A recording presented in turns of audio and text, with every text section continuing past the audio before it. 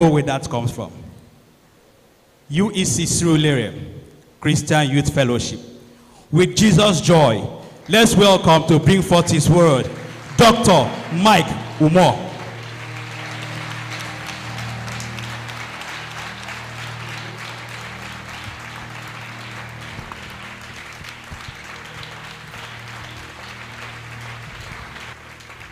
Hallelujah. Amen. Glory be to God Almighty. I consider it a very, very big privilege and honor to be asked to come here today to minister and share the word of God with you. I want to first of all appreciate the leadership of the church. Thank you very much, sir, for the opportunity. Thank you to the elders and the entire church committee for this um, opportunity. Um, I also want to thank the leadership of the Youth Fellowship and the Youth Fellowship entirely for this great opportunity. Um, I believe that the Lord is set to drop a word or two in our hearts. And I pray that even as His word comes forth, it will come with power and with light. In Jesus' mighty name. Um, briefly, I'm going to take a text from the book of Daniel, Daniel chapter 11 from verse 28 to 32. Because we don't have much time, I'm just going to run through it and then we go straight to what God is said to do. He says from 28, Then he shall return into his land with great riches, and his heart shall be against the holy covenant, and he shall do exploits and return to his own land.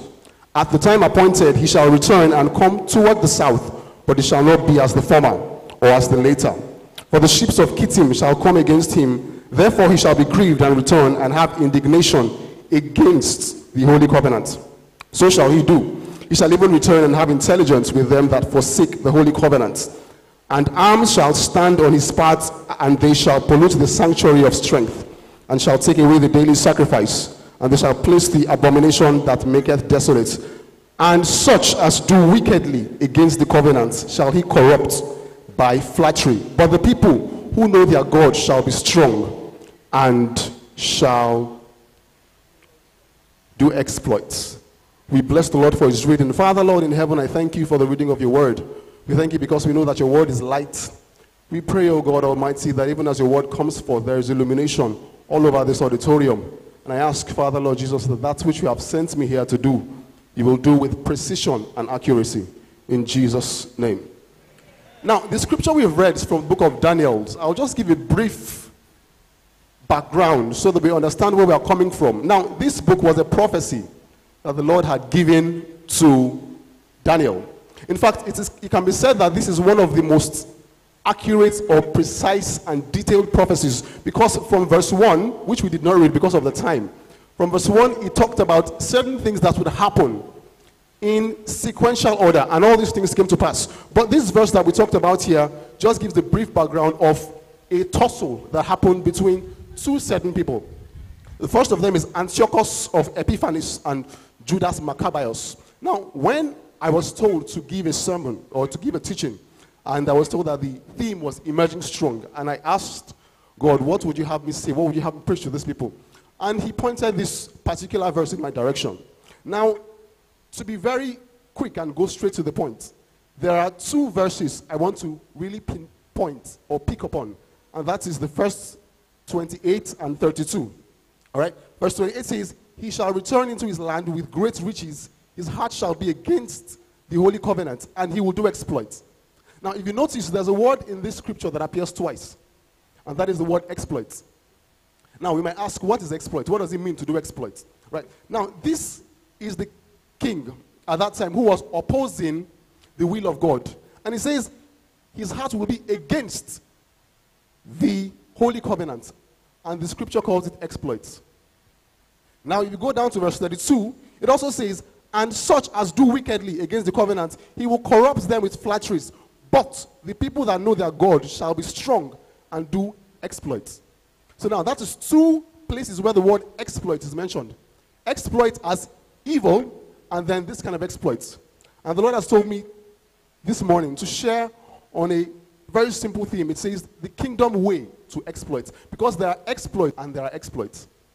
The first one you can see, we call it exploit, but then that is not what God will accredit or acknowledge as exploit. Now, before we can even understand what exploit is, we have to first of all define terms. Because a great man said, wherever the purpose of a thing is not known, abuse is inevitable. So we have to first of all define what it means to do exploit. Definitions are very key and important. And if there's no definition, if there's no purpose, there's no set or clear outline of what we want or what we are talking about, then subsequently there's going to be abuse. And that's what's happening in certain places all over the world. If you go to some of the great nations of the world right now, because of the fundamental problem with defining clear terms, there are issues and there are problems. If you go to the United States of America, for example, the USA, and you pick a random sample of about 10 people, put them in a room, and ask a simple question How many genders do we have in the world? An argument is going to come up. There's going to be a tussle because the simple definition of what gender is has been twisted. So, first of all, we're going to set it clear. What does it mean to do exploits? But first of all, in verse 32, he says, Those that know their God will be strong and do exploits, which means that there is a prerequisite for doing exploits, and that is knowing your God. And so, before we even talk about exploits, we're going to talk about what it means to know God, what it means to know a person. You say, I know this person, I know this man, I know this woman. What does it mean to know God? Now, knowing here is not just about knowing a person physically. I know this person in church. I know this person from my school. I know this person from my house. No, no, no, no. That's not the knowing it talks about. In fact, the word knowing that is used here in the Hebrew, it's called yada. Knowing yada, which means a specific kind of knowing that comes only from intimacy. This kind of knowing is not the kind of knowing that is just ordinary. It is the same thing that was used in the book of Genesis, Genesis 4, verse 1, where the Bible says, And Adam knew Eve, and they begat Cain. Now, you know that for Adam and Eve to give birth to Cain, it's not just that I know you, I know you. Okay, there must have been an intimacy for that to happen. So that yada talks about intimacy. That is the kind of knowing that we talk about. So when you enter this type of knowing, enter this sphere or this level of knowledge, then we can talk about beginning to do exploits. Another thing about knowing God here, I'll tell you that it is not even the same thing as being born again. It's not the same thing as giving your life to Christ. That is not knowing. Because this same word, yada, in the Hebrew, in the Greek, is ginosko. Ginosko, G I N O S K O. And if you look at the book of Philippians, chapter 3, verse 10, Paul says that I may know him and the power of his resurrection. Now, take note, the person talking here was not Saul, it was Paul. In other words, the person who is saying he wants to know God is not the person who was persecuting, it's the person after he had encountered Christ in Damascus. He had had that change, has written letters to churches all over, and he still says, I want to know God. That shows you that the knowledge here is not just knowing God as Lord and personal Savior, it is intimacy. It is the kind of knowing that can only come from fellowship and communion when you spend time with God. And it is important that we take note of this because in order to do exploits, we must first of all know God. We must first of all know God. Now, the time is quickly fast spent. Okay, and now, um, because of this, it is important that we set our minds to engage in the spiritual disciplines of knowing God, which means to study, to study the Word of God, to engage in prayer. This is the prerequisite for us to do exploits. Because if we do not do this, if we do not engage in prayer, if we do not engage in study of the Word of God, if we do not take time to seek the face of God, we cannot do what Christ calls or regards as exploits. Now, because of the way things have gone, the times have changed now. And in this time and generation, the attention span is very short. So people cannot even sit down for minutes or hours to pray or study. A research was done which shows that the attention span of the average human has dropped over the years. In the year 2000, the attention span was 12 which means that if we are having a conversation, it takes 12.5 seconds. If I don't pick your interest or catch your fancy, the person loses attention. Mine goes off. Now, over the years, presently, the attention span has dropped by 25%. So now it is 8.25, which means that we are going on a decline. It is important because knowing God will require that we focus our mind and put our attention on the Lord God Almighty. Now, when we have known God and when we have taught, then we can begin to do exploits. Now, I'll talk briefly on what it means now to do exploits, kingdom exploits, like I've talked about. First of all, I'll say that kingdom exploits is not measured by temporal activity. Kingdom exploit is not measured by earthly accomplishments, but rather by eternal significance. In other words, in the meter in heaven, as it is reading, it's not the person who works the most here that is said to have done exploits. It is the person who has worked according to the will of God. Now, that will of God, which can only be obtained when you enter a place of intimacy with the Father, that is when you'll be able to say that you have done kingdom exploits. Now, this brings us back to the story of Mary and Martha. If you notice, the, the, the ways of the kingdom are quite different from the way we function in the world. The kingdom of God operates above logic. It doesn't cancel logic. It doesn't cancel common sense and thinking. God created the brain. God created thinking and logic and common sense. And when God made these things, He said it was good. In other words, it's not like logic is bad. But then there is a law and there's a rule. There are principles that rise higher than logic. Doesn't cancel it, but goes higher than it. And this is the rule that will define what exploit is. In this realm or in this um, place where this superior thinking of the kingdom comes into play, there are certain things that we will consider as exploits on earth that are not exploits in heaven. For example, Jesus Christ went to visit Lazarus and Mary and Martha.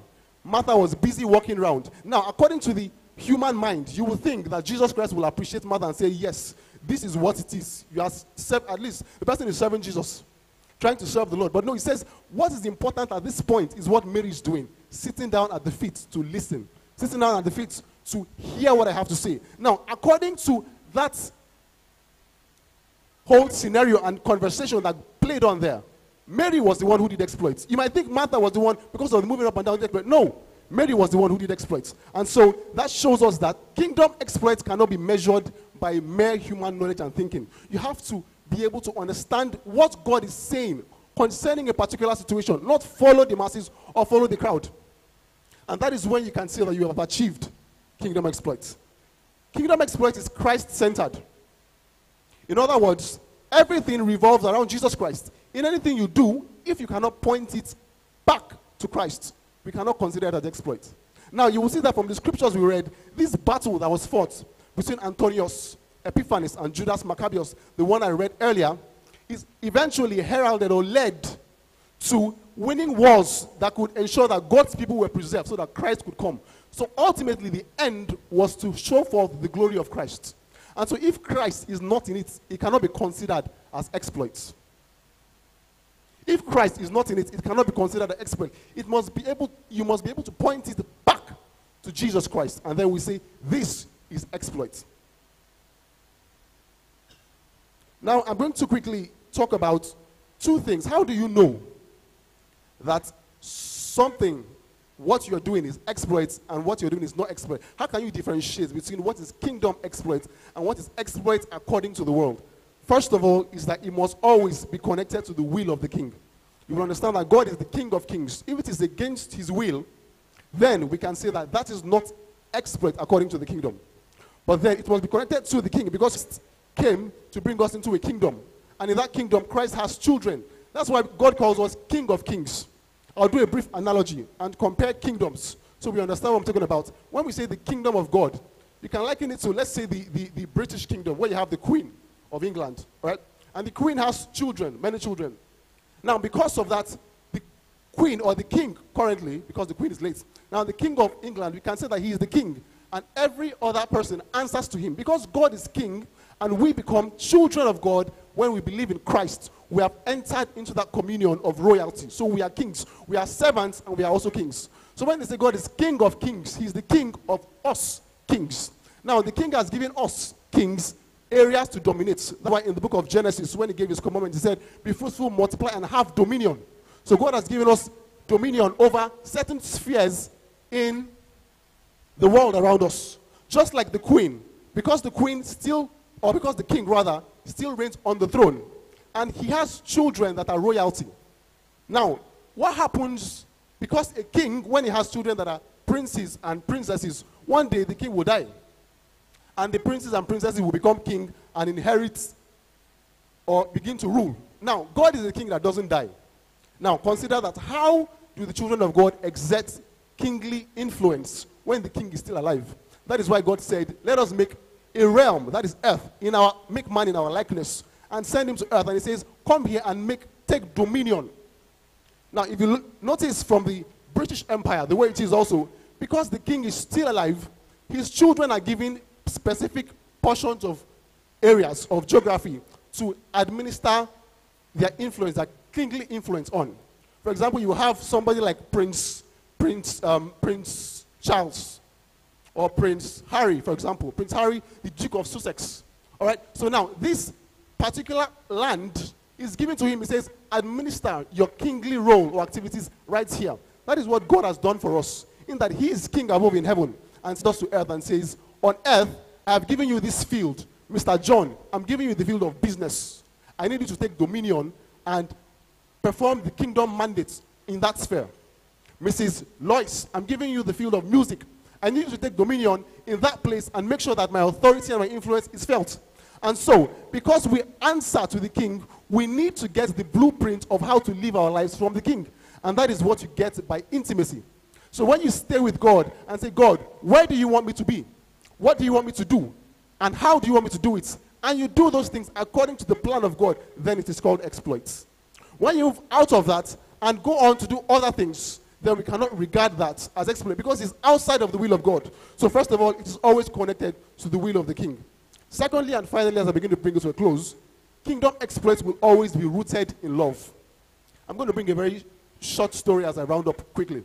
Now, while I was still in medical school training, I had colleagues who had big dreams and aspirations. And I was speaking with one of them, very brilliant doctor. And he says, in the future, I'm going to establish one of the greatest genetic centers in Africa, all right, to conduct clinical and molecular medicine, such that the world has never seen before. And I said, this is a good um, dream. This is good um, aspiration. These are good goals. I said, why do you want to do it? And he said, I want to show the world, I want to show the white people that Africans can do something great. And I said, well, that is good. These are good dreams. But you see, the motive behind it, the motive behind it, if it is not driven by love, then that motive, that particular dream, you can consider it as flawed.